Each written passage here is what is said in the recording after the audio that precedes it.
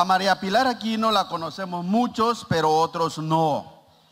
Por ello, para los que no, y para los que sí recordarle recordarla un poco, debemos decir que María Pilar Aquino pertenece a la segunda generación de teólogos de la liberación, pero también pertenece a la primera generación de teólogas feministas de América Latina y reconocida internacionalmente como pionera de la teología feminista liberadora.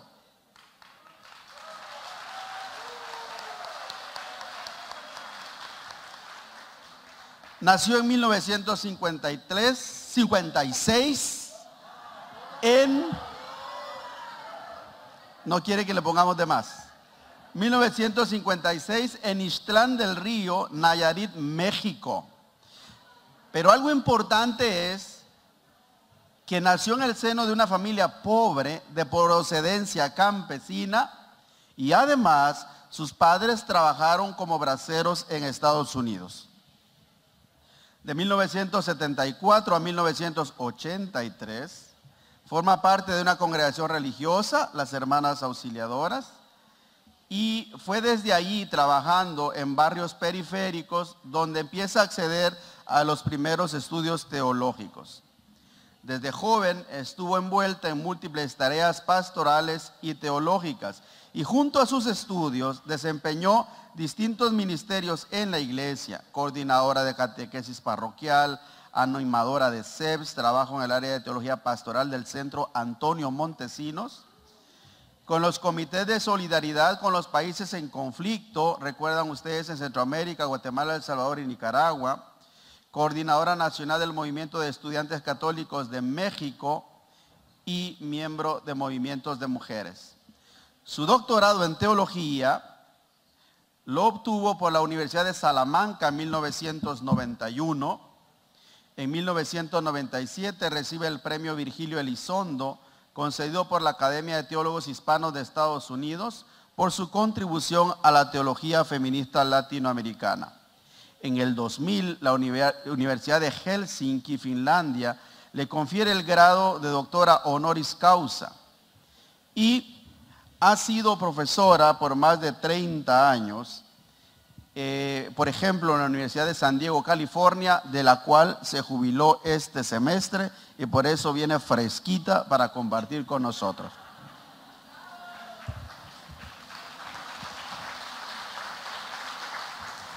Pertenece al grupo fundador de la Academia de Teólogos y Teólogas Latinos de los Estados Unidos y al Comité Consultivo Internacional del Foro Mundial de Teología y Liberación y ocupa el puesto de presidenta electa de la Sociedad Teológica Católica de América. Podríamos decir mucho más cosas, solo quisiera recordar que una de las mayores contribuciones teológicas de Pilar Aquino está centrada en el diálogo entre feminismo y cristianismo está arraigada, ya la conocemos desde los principios clásicos de la teología de liberación, pero también esto la ha llevado a contribuir al lenguaje teológico, desde la eliminación de la exclusión socioeconómica, política, eclesial y teológica de las mujeres. Siendo ella misma una teóloga de la liberación, ha dirigido unas de las críticas más duras a nuestra teología por no incluir seriamente la cuestión feminista en su elaboración. Con ello nos ha querido ayudar a colocar la teología feminista como un enfoque epistemológico y hermenéutico para corregir las lagunas patriarcales sexistas de la teología latinoamericana de la liberación. Todos recordamos como uno de sus primeros libros aquel aportes para una teología desde la mujer.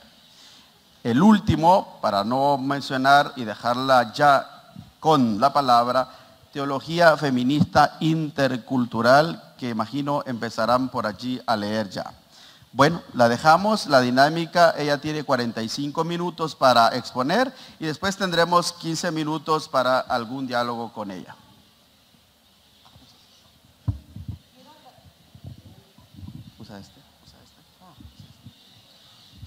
Quiero agradecer a Herbert por esta presentación tan generosa.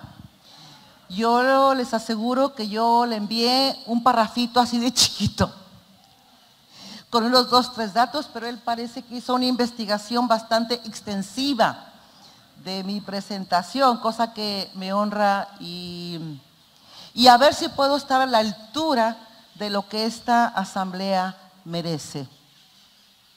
Eh, va a haber un, eh, un PowerPoint detrás de mí que nada más tiene como objeto acompañar lo que voy diciendo, no está cronometrado, no, no hay, eh, no, no, no, soy tal, tan experta en PowerPoint y en discurso, son nada más imágenes que ayudan. El PowerPoint nada más esa ese, función tiene.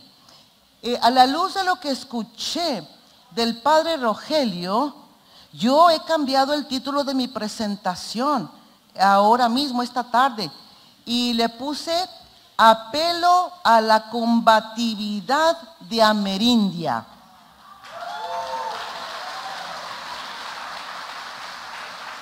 La fuerza de los pequeños en la experiencia de las mujeres. Debo comenzar expresando mi más sincera gratitud al equipo coordinador de este Congreso que tuvo a bien invitarme para compartir con ustedes eh, algunas reflexiones sobre el tema de la fuerza de los pequeños en la experiencia de las mujeres en el marco de la conferencia de Medellín. Considero una bendición estar aquí con ustedes en esta tierra sagrada que tanto ha contribuido a fortalecer la fe en la fuerza escandalosa de los pequeños y en la combatividad de las desposeídas. Desde este lugar, una miríada de actores sociales y religiosos hemos aprendido que la intolerabilidad de la situación presente, son expresiones de Yacuría, que la intolerabilidad de la situación presente sigue empujando las resistencias y luchas de este pueblo por mayor vida, abriendo posibilidades nuevas mediante la construcción de un futuro diferente. Ahí es donde seguimos descubriendo la presencia y la acción de Dios en el mundo que viene a dar veracidad a nuestra esperanza. Por más que pensé en varios puntos analíticos de entrada al tema que me encargaron, mi mente parecía estar atorada en el saber de esa ambivalencia tan honda que caracteriza a la Iglesia Católica y que no pocas veces lleva a francos desconciertos e incompatibilidades teológicas, éticas y prácticas. Por una parte, este Congreso acertadamente propone el acercamiento constructivo a la fuerza transformadora de los pequeños. Por otra parte, y al mismo tiempo, el Papa Francisco declara vergüenza y arrepentimiento, porque como él dice, hemos descuidado y abandonado a los pequeños.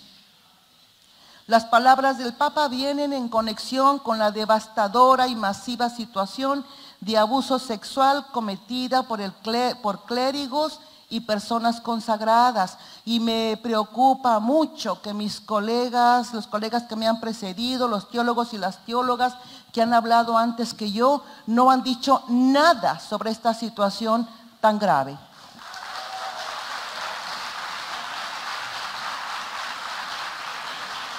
Yo sé, yo sé que esta asamblea está preocupada por eso, porque Amerindia es sensible. Y Amerindia responde.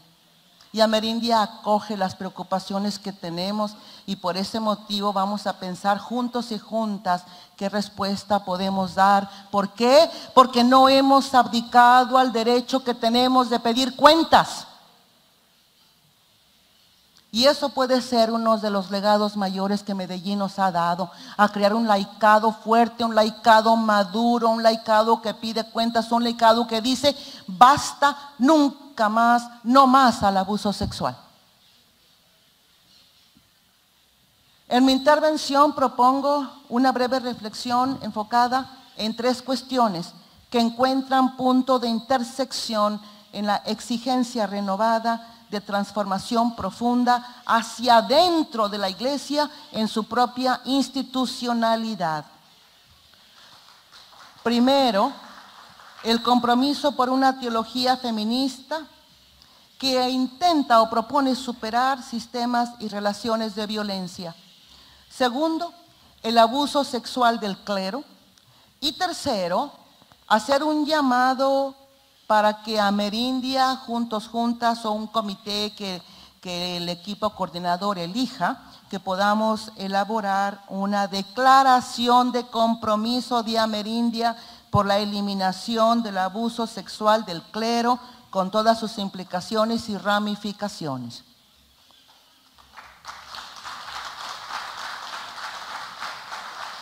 Primer tema, primer punto, las teologías feministas.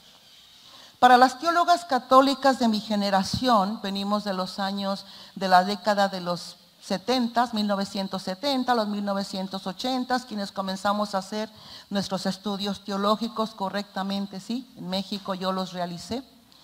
Eh, me acompañó muy de cerca el padre Jorge Domínguez, un franciscano que hasta el día de hoy yo le, digo que es mi padre en la vocación teológica. Eh, es para nosotras, nosotros es imposible negar la influencia de Medellín en nuestro trabajo y nuestro compromiso. Algunas de nosotras también fuimos influenciadas por el emergente pensamiento feminista durante estas décadas, 1970, 1980, que ofreció un espacio de reflexión y de intervención en el cual pudimos encontrar compatibilidad de visiones, objetivos y valores alineados con los procesos de liberación para la justicia y la transformación social. Me tomo aquí la libertad de hablar en plural, porque en el pluralismo de lenguajes teológicos entiendo que nuestro trabajo no ocurre de forma aislada. Quien adopta la teología feminista entiende que compartimos en común motivaciones y propósitos informados por cosmovisiones, visiones de mundo religiosas, de liberación y que somos interdependientes en las luchas por la justicia. Yo quiero insistir en este punto. Ustedes pueden estar haciendo trabajos en la, Amazonia, en las sierras eh, de los Andes, pueden en, las sierras de Guatemala, podemos estar en los barrios de, de San Antonio, de Chicago, de Ciudad Juárez, podemos estar en muchos frentes, pero estamos unidas por una motivación común en nuestra la imaginación religiosa, en esta hermenéutica de la imaginación, podemos crear esos lazos, son lazos, son, estamos en redes grandes de unión. Mi punto es que no estamos solas. Nuestro trabajo es interdependiente.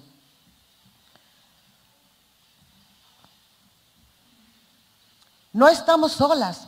Estamos interconectadas en cualquier parte del mundo donde buscamos alternativas para construir relaciones y sistemas sociales justos. En cuanto a movimiento social, la teología feminista moviliza a sus actores y sus actoras para intervenir en la transformación constructiva de sociedades, culturas, religiones y academias mediante el fomento de marcos emancipadores del saber y del vivir que puedan sostener la dignidad y los derechos de las mujeres, la convivencia solidaria en nuestras comunidades.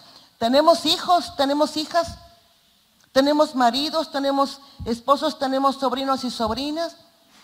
Y somos responsables por nuestras, el bienestar de nuestros abuelos, nuestras abuelas, somos responsables de nuestras comunidades. Y también de las prácticas colectivas que tengan en mente, que tengan como objetivo la plenitud de la creación. El encuentro feminista latinoamericano y del Caribe realizado en El Salvador en 1993 presenta a las actoras feministas como, comillas, mujeres constructoras de nuevos sueños y realidades, fin de comillas, conseguí el documento final. Creo que en esto sigue siendo cierto para muchas de nosotras. Con sueños de otras realidades posibles, hacemos teología con la convicción de que el propósito de Dios es de plenitud para el mundo y la humanidad y afirmamos la esperanza como anticipo de nuevas realidades en el presente, donde la gloria de Dios se ha manifestado en su esplendor. Hoy en día, Nadie se atrevería a negar que en las últimas dos décadas hemos visto el crecimiento y el impacto del movimiento feminista y movimientos de mujeres presionando por cambios profundos en el escenario mundial. Hemos presenciado a una sociedad civil mundial movilizada al pulso de movimientos sociales plurales que emergen para declarar su rechazo al orden social hegemónico que devasta la vida e incita violencia y para afirmar redes de acción colectiva por alternativas hacia un mundo diferente. Las marchas masivas, las protestas públicas, las acciones de boicot y de desobediencia civil, el incremento de colectivos transnacionales y el activismo de un amplio espectro de actores sociales ilustran una dinámica de revitalización de los anhelos mundiales por un orden social justo y libre y las mujeres estamos ahí de forma masiva. Los pueblos y las mujeres están de pie, alzando su voz, multiplicando su rechazo a la exclusión y el autoritarismo, desafiando a los fundamentalismos políticos y religiosos, combatiendo las tiranías y las jerarquías, rechazando el caudillismo y la corrupción, interactuando con la esfera pública y fortaleciendo el cuerpo social con resistencias, rebeldías y militancia. En nuestra región, la teología feminista arraiga su saber en esta globalización de solidaridades hechas posibles por el movimiento mundial por la justicia. Tal vez el espacio Amerindia tiene uno de esos, de esos méritos, de que Amerindia es un espacio de eso que convoca actores y actoras sociales que compartimos en común estas visiones, estos intereses, estos compromisos. El otro foro, y Amerindia tiene un papel muy importante dentro del Foro Mundial de Teología y Liberación, que se reúne dentro del Foro Social Mundial. Entonces, dentro del Foro Social Mundial, ahí nos convocamos, ustedes vieran el dinamismo, el activismo, el poder y la fuerza de los movimientos sociales mundiales la sociedad, estamos de pie en el mundo entero y en todo el continente estamos de pie. Y estamos hablando y estamos trabajando juntos por un cambio. Los cambios propuestos por la teología feminista, que es parte de estos movimientos, incluyen la transformación de las teologías sexistas y las estructuras patriarcales de la iglesia. También me sorprendió. Varios de mis compañeros aquí teólogos eh, siguen usando un lenguaje sexista un lenguaje teológico androcéntrico. Androcentrismo, el androcentrismo y el sexismo lo tienen que superar mis compañeros teólogos latinoamericanos. Y ese es un llamado muy serio que les hago. No más. Basta ya. Ya basta. No más. En el ámbito del catolicismo, el dominio estructural de los hombres sobre las mujeres el valor social superior concedido a los hombres, la expectativa de la subordinación de las mujeres como grupo social y los mecanismos retóricos religiosos para el control del cuerpo y la sexualidad de las mujeres han contribuido de forma combinada y simultáneamente al establecimiento de exclusiones, desigualdades e iniquidades. La violencia hacia las mujeres y el abuso sexual de menores por el clero son expresiones pervertidas de una institución que usa de su poder para dominar y someter a quien está en posición de vulnerabilidad. El daño a los pequeños. Mientras dejemos intacta esa institución, la fuerza de los pequeños en las mujeres enfrentará obstáculos mayores para florecer. Y con este, con este eh, eh, em, eh, comentario paso a la segunda parte, el abuso sexual del clero. En estos días, las revelaciones del abuso sexual del clero, la gravedad y la magnitud mundial de este abuso sexual muestran que algo anda muy mal, algo anda mal, algo anda muy mal y que las nuevas respuestas son necesarias. Como pueden ustedes saber, la conferencia de Medellín no ofrece nada sobre una respuesta apropiada al abuso sexual perpetrado por el clero. De forma indirecta, podría apelar yo a tres principios proporcionados por los documentos de las conclusiones. Me refiero al principio de la dignidad humana, que no es propio del documento de Medellín, la conferencia de Medellín. ¿Por qué? Porque atraviesa toda la enseñanza social del magisterio. Pienso en el principio de la transformación de las estructuras opresoras que provienen del abuso del poder y en el principio de construir un orden social en el cual la persona sea agente de su propia historia y no un objeto. Estos principios son parte del legado de Medellín a la teología y a la iglesia, pero en general han sido mayormente entendidos como motivación para las prácticas en el, comillas, ámbito de lo temporal que corresponden a lo típicamente laical. Son expresiones que tomo de Medellín, típicamente laical, que es su compromiso con el mundo gestionando los asuntos temporales. documento de los laicos, número 8 al 9, por lo cual a los laicos el laicado automáticamente, según la visión de iglesia de Medellín, no nos corresponde decir nada sobre lo que está ocurriendo al interior de la iglesia y su institución. ¿Ven? El modelo de iglesia promovido por Medellín presenta una fuerte dicotomía este modelo está formado por una base y una cumbre en el, en el, cual jurídica y teológicamente, por derecho divino, viene de Medellín, por derecho divino, la cumbre gobierna sobre la base y la base está subordinada a la cumbre. De hecho, aunque las conclusiones hablan sobre las directrices de la comunión y la catolicidad en la pastoral de conjunto, este es un lenguaje engañoso porque Medellín afirma la estructura jerárquica de una iglesia formada por la base y la cumbre. Pastoral de conjunto número 5 al 8. En mi opinión, hay en Medellín, a pesar de esto, hay en Medellín una línea de pensamiento y de acción que sigue estando esperando después de 50 años para revelar todas sus potencialidades y dar de sí lo que contiene de resistencia y de rebeldía pero sobre todo de intervención constructiva para hacer de la iglesia lo que está llamada a ser.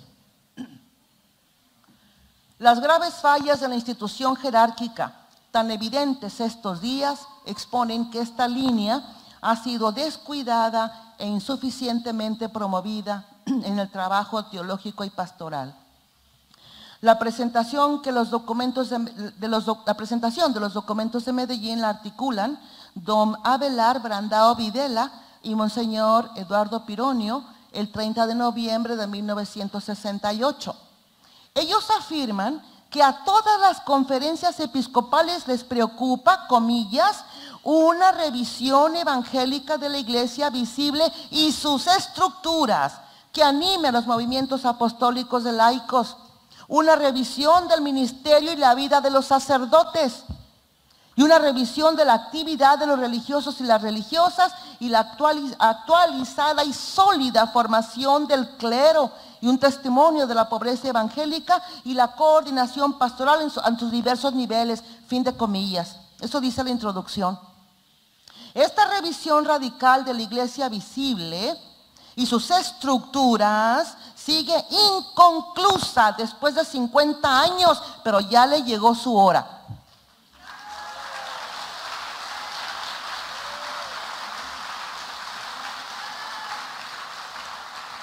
Y eso viene de Medellín, está en Medellín, los documentos de Medellín. Y lo escribe Monseñor Pironio y Monseñor Brandao Videla, firmado por ellos.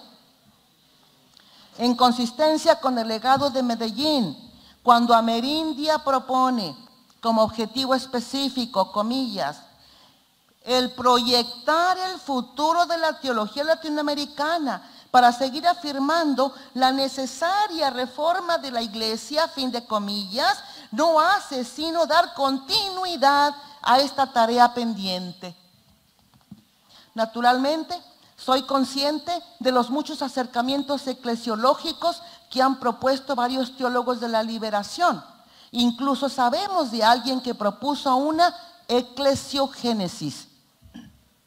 Pero dicha eclesiogénesis, me parece a mí, sigue afirmando lo que llama un pasado apostólico y sugiere solo un cambio de estilo, página 95, me leí bien el libro otra vez, en el que la jerarquía eh, y sugiere solo un cambio, en, la versión en español de Salterre, la página de la versión de Salterre, porque debe haber varias, varias ediciones de ese libro, claro. Dicha eclesiogénesis sigue afirmando lo que llama un pasado apostólico y sugiere solo un cambio de estilo en que la jerarquía ejercite sus funciones. De tal forma que al advocar por un cambio de estilo, solamente propone un cambio estético que es insuficiente para una necesaria transformación estructural de fondo.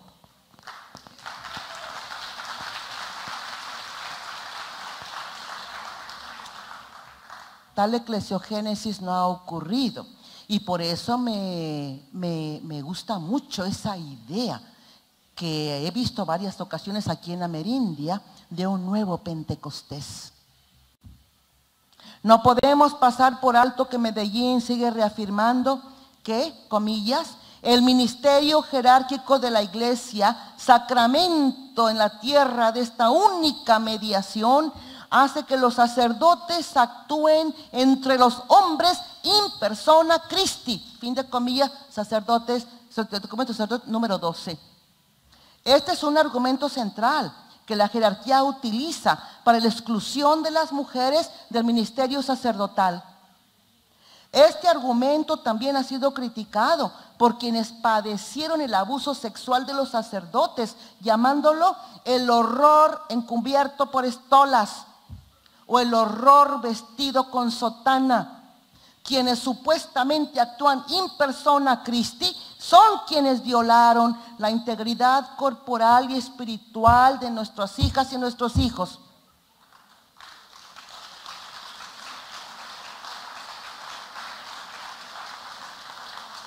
A pesar de que este problema grave ya existía, la conferencia de Aparecida Menciona eso en comparación, quise comparar a, eh, Aparecida con Medellín, pero me tuve que concentrar en unas pocas cosas. Es tanta la información que tuve que seleccionar lo que debía decir. Tal vez después escriba un artículo comparando Medellín, Puebla y Aparecida sobre este tema.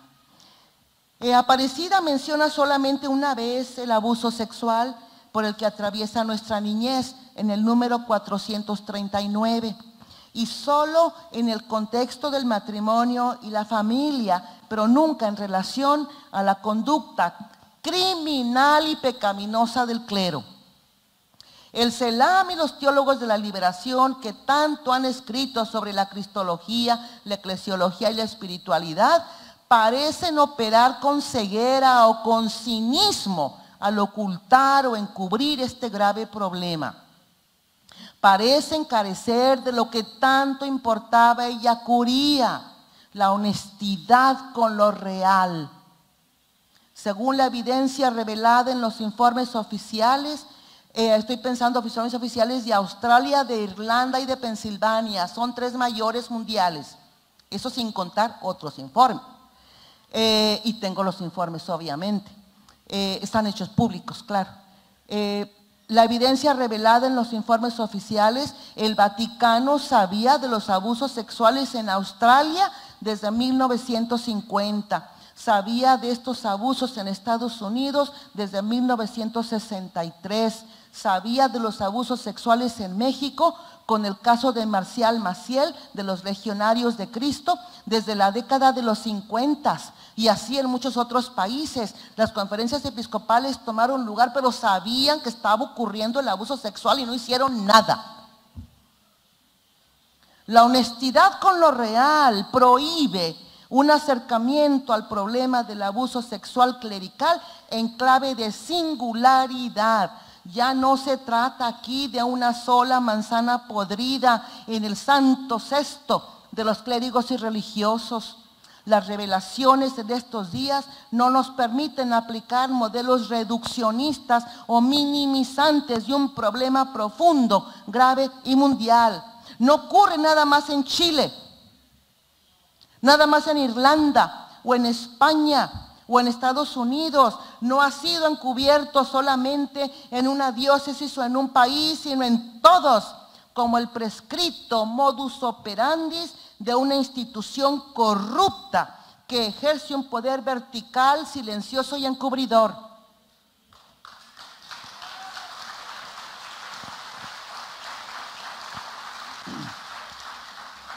La iglesia visible y sus estructuras no ha sido reformada según lo expresan don Brandao Videla y Monseñor Pironio. Y parece que vamos de mal en peor.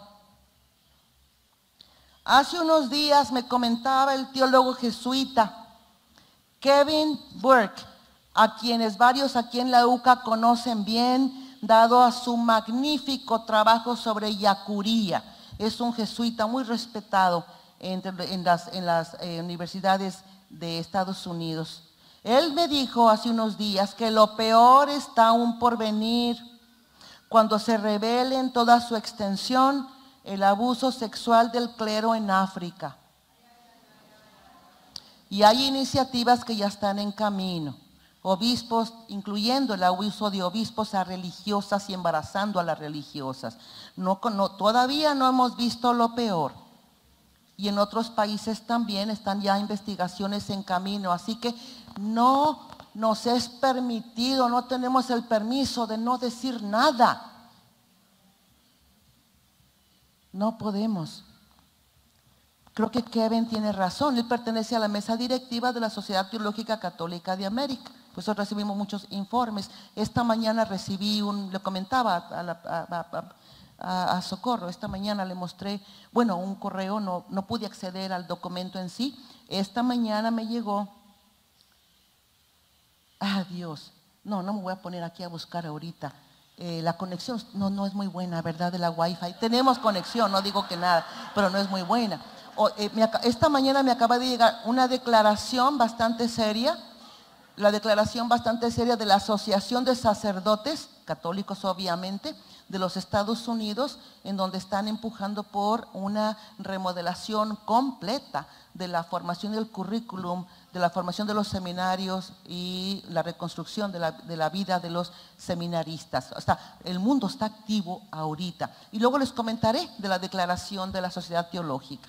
Pero hoy en la mañana, los informes están llegando. Me parece que Kevin tiene razón. Todavía no hemos visto lo peor que está por venir. Entre los factores que contribuyeron a un clima eclesial en el cual los clérigos pudieron ofender sexualmente, son los que también contribuyeron a las condiciones que posibilitaron que a la jerarquía de la iglesia hacer lo que hizo en el manejo de las quejas. Fundamentalmente, ambos son parte de la misma cultura institucional. El Papa Francisco habla de una cultura de muerte en, la cual el descuido y el abandono a los pequeños, la jerarquía ignoró el grito del dolor de tantas víctimas, sus familias y sus comunidades, cayendo ella misma en complicidad. Y tengo el documento, la carta del Papa Francisco. En esta cultura de muerte, cierto, es cierto, es verdad, lo podemos decir, muchas veces en esta cultura de muerte, no todos los clérigos son abusivos, eso lo sabemos. Pero todos comparten los privilegios de la casta sacerdotal y contribuyen a perpetuar esa cultura con su omisión, silencio y ocultamiento.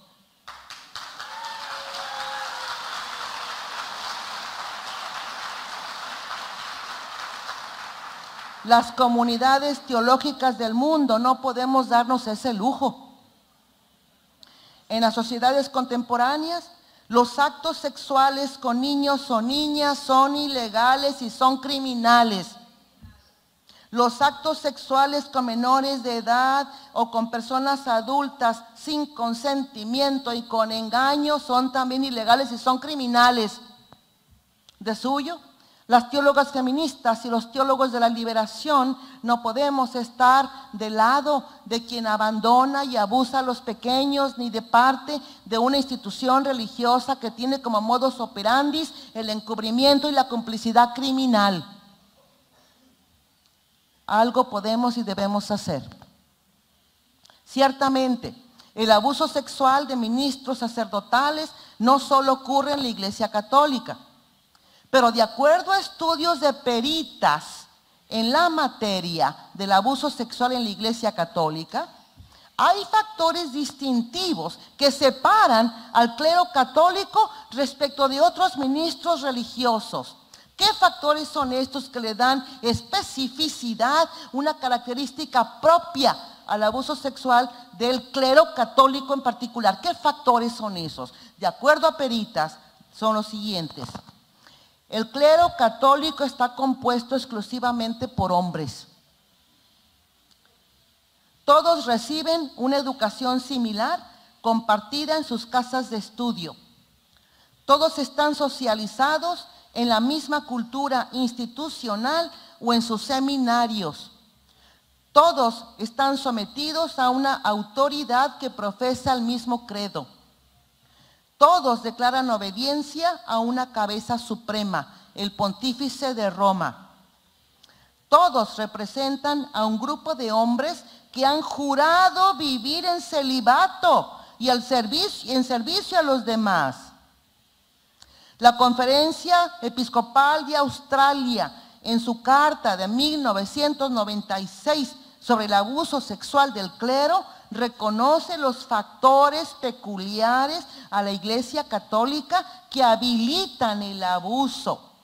Aparte de los militares, que ahora incluye a las mujeres y nunca impone el celibato, no existe en el mundo una institución comparable al de la jerarquía católica. Si eso va a cambiar, esas condiciones tienen que cambiar. Una gran paradoja de todo esto es que mientras la jerarquía protege a curas pedófilos y abusadores de mujeres, al mismo tiempo toman la palestra pública para hacer la guerra a los movimientos feministas y de mujeres que trabajan por cambiar la legislación sobre los derechos sexuales de las mujeres y la salud sexual.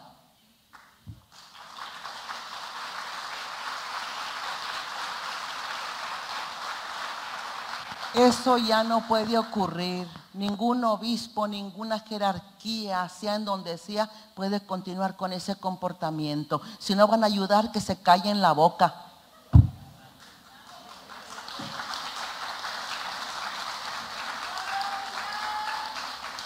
Puedo muy bien comprender por qué miles de gentes están declarando la apostasía colectiva, como es el caso de Argentina. Para ellas, la jerarquía católica no las representa y no desean que siga hablando en su nombre. Para concluir, pienso que teniendo en mente los documentos de Medellín, el pasado no lo podemos cambiar. Pero en atención a su legado, apoyar y promover la necesaria transformación profunda de la iglesia visible y sus estructuras. Hoy eso sí lo podemos hacer para que haya un futuro de transparencia, un futuro donde la rendición de cuentas exista, en donde se pueda hacer una reparación de los daños, en donde podamos restablecer la salud, en donde la iglesia contribuya a que exista la justicia para todos y para, y para todas las teólogas feministas católicas del norte y del sur hemos estado trabajando por esa transformación desde un principio y yo pienso que más bien una visión optimista de, futuro, tenemos esta motivación del reino de Dios, esta motivación de una teología comprometida, esta, esta visión que tiene Amerindia de una transformación de las estructuras de la iglesia, la podemos realizar y por eso estamos aquí. Hay visiones y hay esperanzas y hay futuro y podemos contribuir a una cosa, a un futuro diferente. Por eso dice el Foro Social Mundial, el Foro Mundial de Teología y Liberación, otro mundo es posible, otra iglesia es posible, otra teología son posibles. Debo eh, terminar eh, esta mi participación haciendo un llamado para que Amerindia articule en este Congreso Continental una declaración de compromiso por la eliminación del abuso sexual del clero con todas sus implicaciones y ramificaciones. Y eso incluye ciertamente poner fin a la perniciosa dicotomía entre el clero y el laicado, así como la eliminación jurídica de la exclusión de las mujeres del ministerio sacerdotal.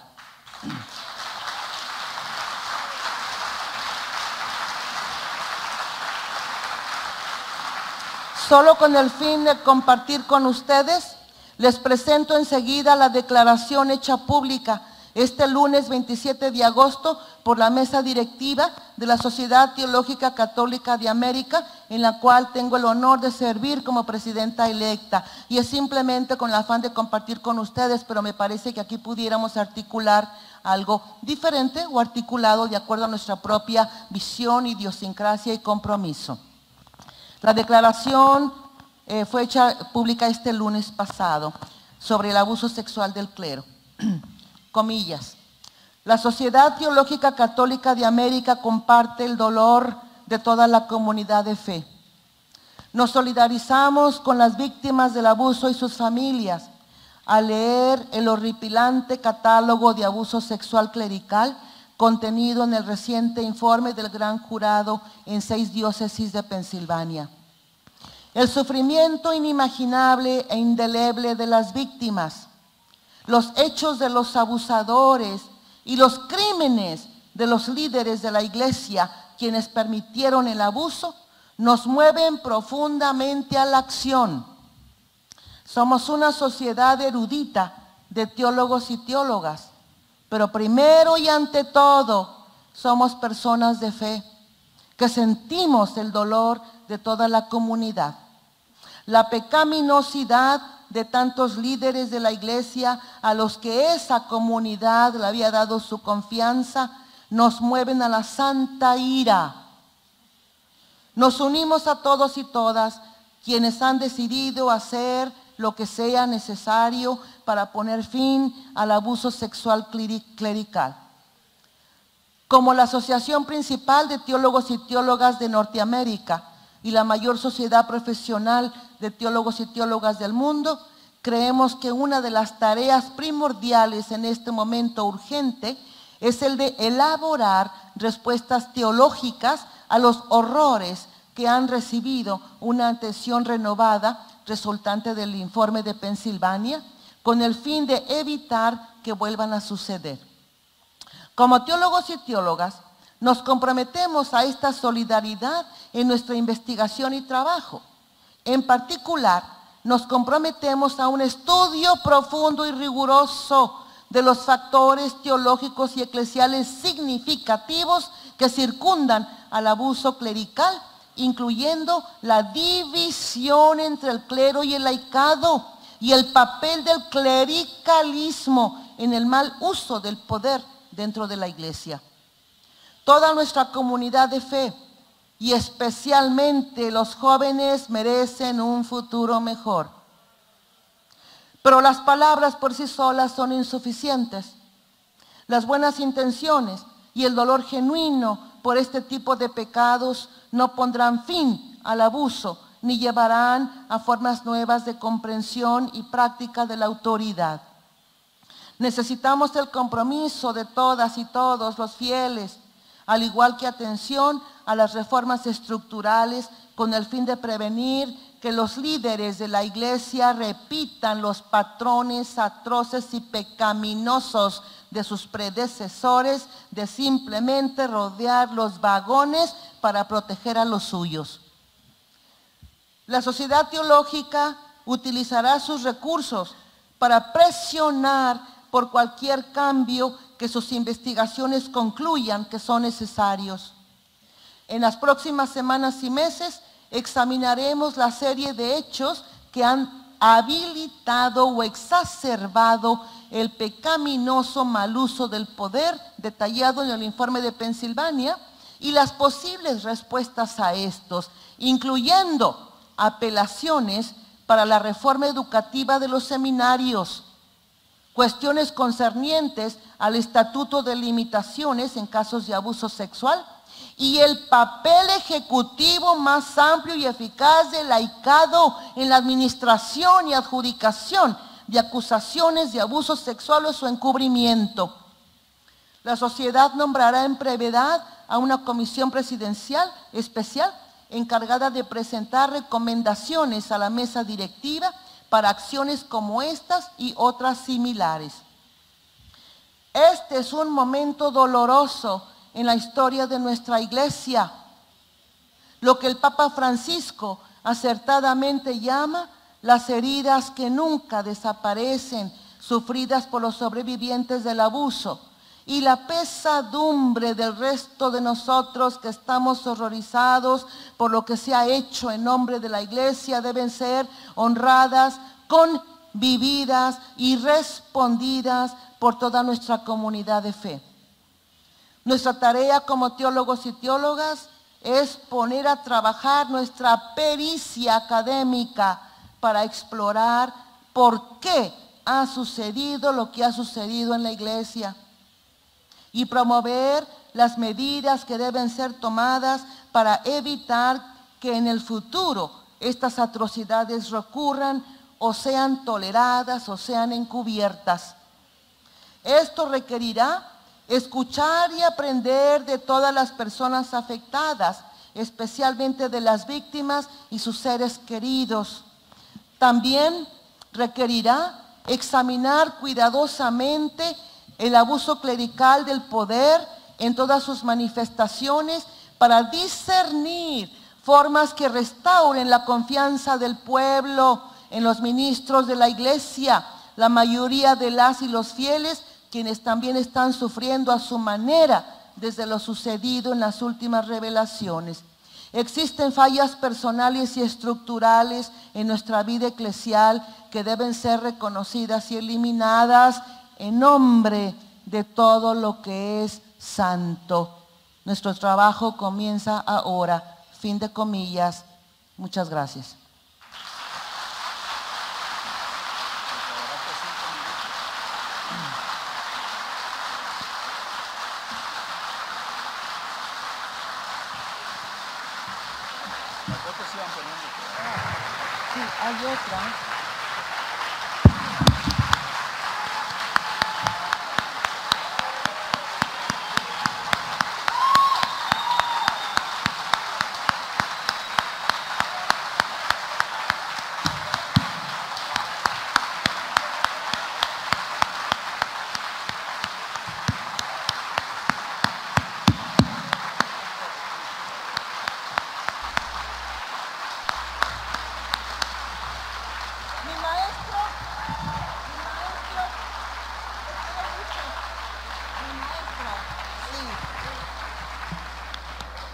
Mi maestro Pablo Richard también fue mi maestro, claro. Sí, tengo aquí muchos maestros y maestras también en esta asamblea. Por eso dije en un principio que hacía un apelo a la combatividad de amerindia, que yo sé que somos sensibles y que respondemos. Y hay una diapositiva, ya viene una diapositiva para la sesión de preguntas y contribuciones. Yo propondría por esta idea de, poner, de poder hacer una, una, declaración que vaya al corazón de las cosas, creo que quisiera como invitarlos a ustedes, invitarlos, invitarlas a ser propositivas, a tomar una, a tomar una actitud constructiva. ¿Cómo podemos responder constructivamente a esta situación? Vamos a hacer por traer nuestras las energías mm, positivas más grandes que tengamos y acuérdense que estamos con la bendición de un templo santo en este ambiente. No podemos sino contribuir. Decía que ustedes, quien conoce la teología de Ignacio Yacuría lo sabe. Ignacio Yacuría decía en su filosofía de la transformación histórica y fuerzas eclesiales, fuerzas sociales, que crean, eh, toma oportunidades que presenta la historia, la historia y aprovecharlas y crearlas las posibilidades de cambio. Las posibilidades no existen. Hay que crear las posibilidades que podamos para construir y transformar. Es eso. Es como entrar en este ámbito de creatividad. Al tomar el micrófono, yo quiero invitarles, invitarlas a dar su opinión, sus comentarios sobre una cosa positiva que podamos hacer. Y después me supongo yo que habrá quien tome nota sobre las contribuciones que hagamos, de una contribución comunitaria, una contribución colectiva para esto. Bien, entonces nos han pedido ser bastante propositivos. Hay una, una diapositiva anterior. No, adelante, más adelante. Por favor, tenemos también 15 eh, minutos para este diálogo. Si algunos quieren participar, tenemos que tener en cuenta que otros también. Entonces, por favor, intentemos ser directos como se nos ha pedido. Sí, toma sugerencias, es lo que yo propusiera aquí. Eh, eh, para participar, ¿qué deseamos decir? ¿Qué debemos decir? ¿A qué nos comprometemos y pensemos en estrategias de acción? Sugerencias, nada más. Es como lo que se pide, ¿no? Para la participación de cada uno de ustedes, movernos en ese marco, pero teniendo en cuenta que tenemos 15 minutos para tal situación. Empezamos entonces aquí adelante, nos habían pedido la palabra, ¿sí? Bien, yo soy amigo de Pilar, Claro que sí, tomé mis cursos en la Pontificia de Lima, ahí estaba Felipe en aquellos años, 1980, 82, 83, 84, es cierto. Estamos, hemos estado en el camino, Felipe. Soy cura hace 56 años, diocesano. En la noche de mi ordenación hice voto de castidad. No ha sido fácil, no estamos obligados. ¿eh? Eh, quiero decirte con confianza, antes de ser propositivo, que tu crítica enfática probablemente ha desconcertado a mucha gente, pero al mismo tiempo quiere ser propositiva. Sobre la crítica enfática un par de cosas rápidas. ¿Por qué no pensar que el encubrimiento, tal como lo has llamado desde tanto tiempo atrás y mucho más atrás todavía, pudo deberse a ignorancia? Voy a poner un caso, Juan 23. Si hay alguien a quien respeto, es a él. No, no fue encubridor, no sabía de qué se trataba. Segundo, también hay otra cosa, vergüenza, la mía personal, ¿ya? Eh, pero ahora sí paso a dos propuestas. Primera, yo creo que el tema clave es el clericalismo. Y el clericalismo va contra la noción de pueblo de Dios del concilio y de Francisco.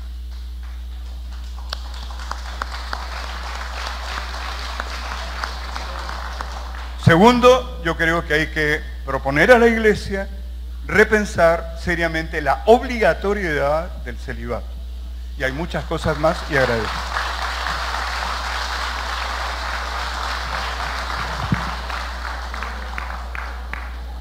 Muy bien, allá atrás están pidiendo la palabra. O ya está, muy bien.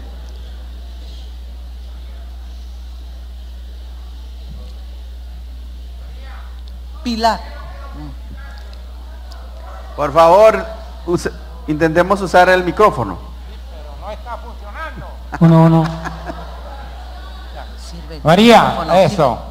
Quiero felicitarte por esa indignación ética que has mostrado en esta charla. Y te felicito porque eso es lo que nosotros necesitamos.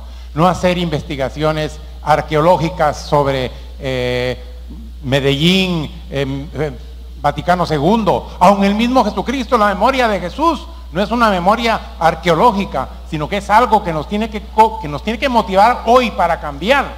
Y eso es lo que nosotros necesitamos. Están proponiendo una carta que le queremos enviar a, Francisco. Me parece una excelente idea. Pero hay que decirle también que no solo hay que atacar a los pederastas y a los encubridores, sino que hay que atacar también las fuentes que hicieron posible que eso sucediera y que ya se han mencionado claramente, el clericalismo y el celibato, obligatorio. No estamos en contra del celibato, creemos que es valioso, pero tiene que ser libre, no puede ser obligado.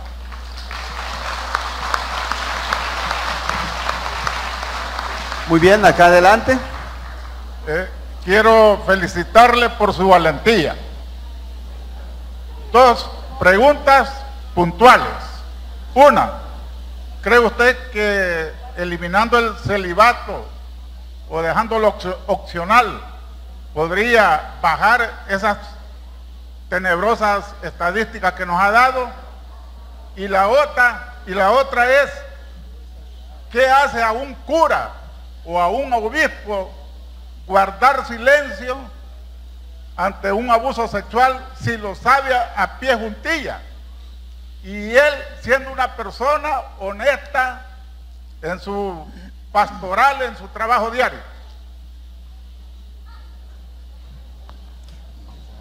Sí, no, no, no. Vamos a irnos por uno, vamos a irnos por uno. Allá, allá. Acá. María José. Acá, acá. Por favor. Eh, a ver.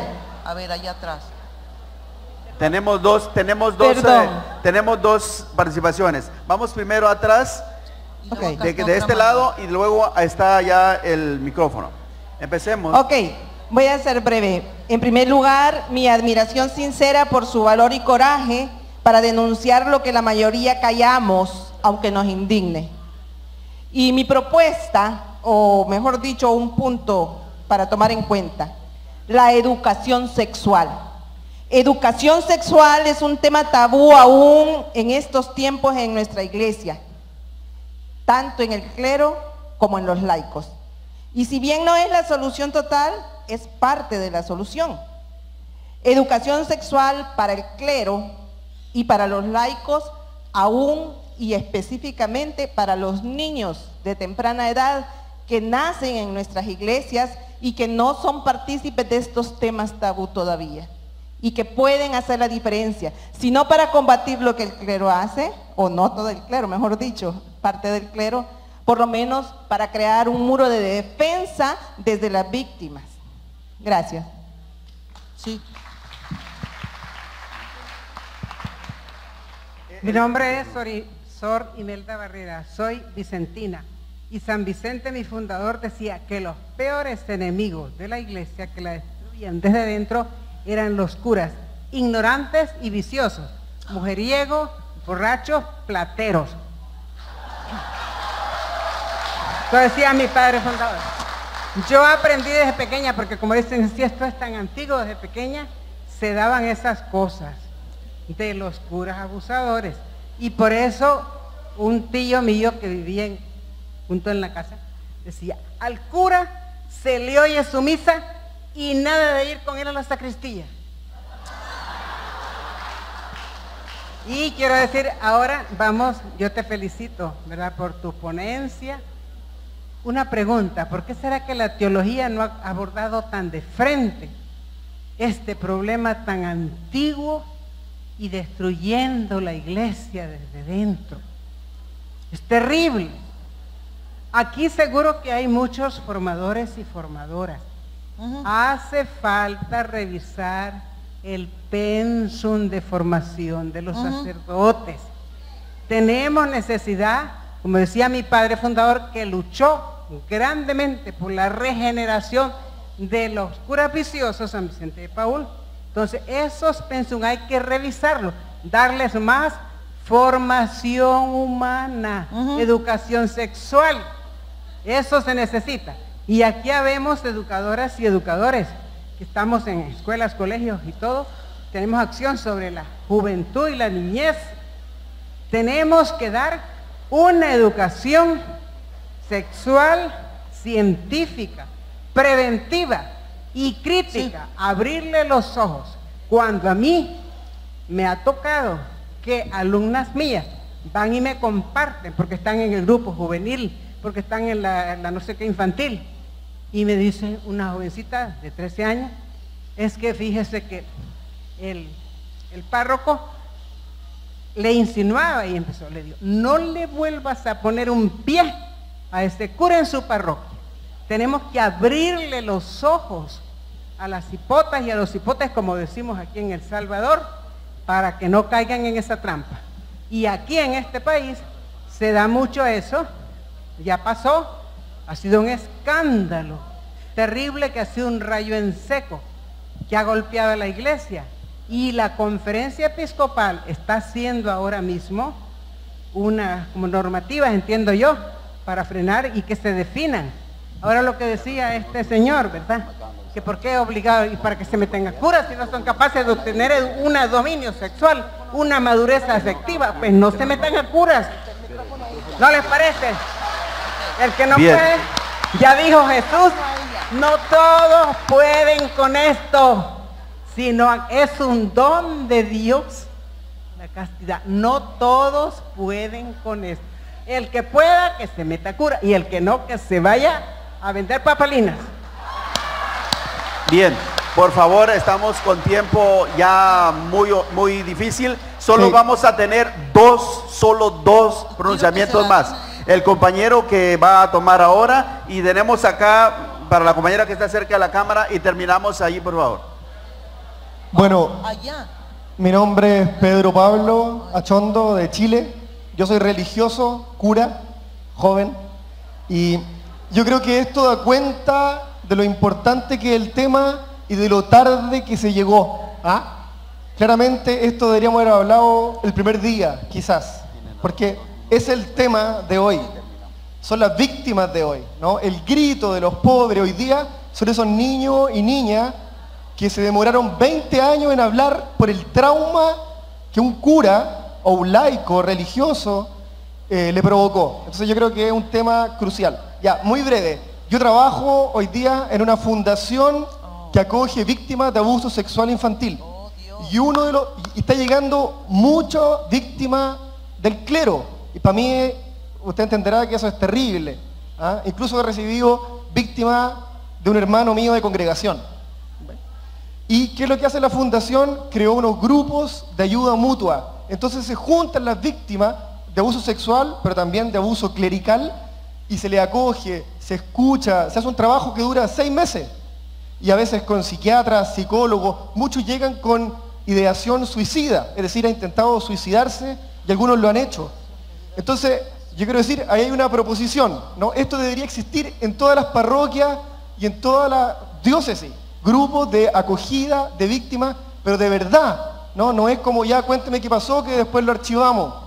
Y lo otro, yo creo que aquí el tema es un tema de abuso de poder.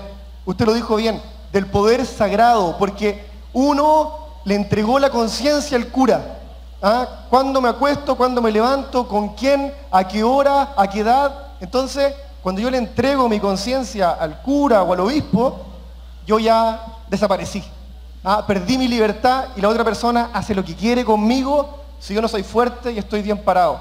Entonces, el tema del poder en la iglesia, que la jerarquía, es el que hay que revisar. Y eso está en todo, está en todo. Está en la liturgia, está en el Señor que se viste de blanco y el primero que comulga.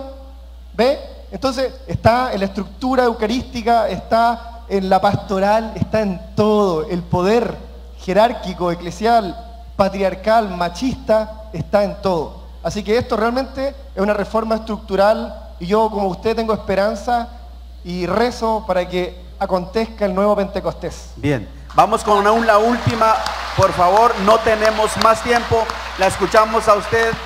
María Pilar habla dos minutos y terminamos, no podemos más. Y ahí ya. No podemos más. Vamos. Eh, mi nombre es Elizabeth Miller, soy laica, simplemente bautizada eh, casada con dos hijas. Mi única propuesta es que todos nosotros presionemos desde nuestras diócesis, desde nuestras comunidades, para un cambio radical en la formación de sacerdotes. No más seminarios cerrados. Los sacerdotes, los acompañantes de comunidades, todos tienen que educarse junto con otros jóvenes, junto con otras personas en universidades, en comunidades vivir en las comunidades donde tienen acceso a, contacto humano normal, regular, de juventud, de, edad adulta, de edad madura. No más ese estilo de seminarios. Eso es perverso.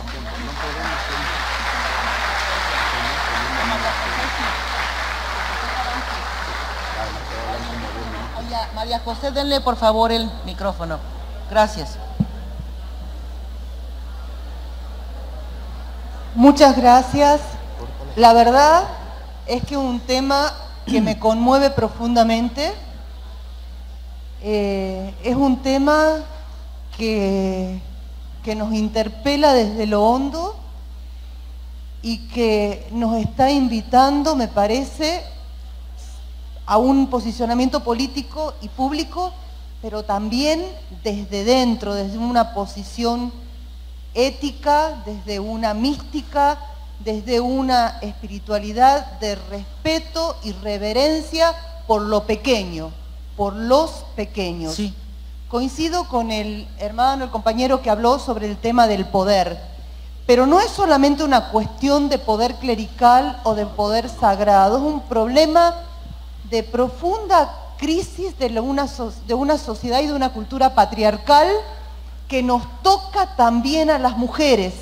Sabemos de abusos de mujeres, abusos de poder y de todo tipo de mujeres sobre otras mujeres. Correcto. Entonces, me parece que tiene que haber un cambio estructural, atender a las denuncias concretas, atender a educaciones concretas, pero no tenemos recetas concretas, no podemos trabajar en el orden de recetas, sino en el orden de articular una reflexión profunda a partir de una mística, a partir de una ética de respeto. Yo quiero terminar una cosa, yo vengo del del debate del aborto en Argentina. Y una de las cosas que a mí me impresionó fue cómo se llevó la causa de ni una menos a ni una menos por aborto. Y a mí me pareció una manipulación poco ética, porque el tema del aborto tiene su complejidad, pero es el tema de la vida, del respeto y de la reverencia por lo pequeño. Gracias, gracias. Yo Sí, en, lugar de ofrecer una respuesta a los, a los puntos que se plantearon, porque era más bien como pedir ideas, ideas para una declaración, eh, nada más quisiera yo decir que sí, todos estos puntos tienen que incluirse en una, en propuestas, ¿verdad?, de, de cambio. Yo creo que la Merindia puede hacer sugerencias para una transformación que incluye esos temas del el celibato, eh, no más una cultura de silencio, pedir transparencia, pedir eh, rendición de cuentas. Y sí es una cosa de lamentar que nuestras propias teologías de liberación han tardado muchísimo en dar respuesta. Yo creo que este espacio nos ha permitido hacer, hacer algo. Yo veo las cosas con esperanza, con optimismo y por eso estamos aquí. Entonces estamos de acuerdo en que la mesa coordinadora de Amerindia nos haga una propuesta mañana. Muchas gracias.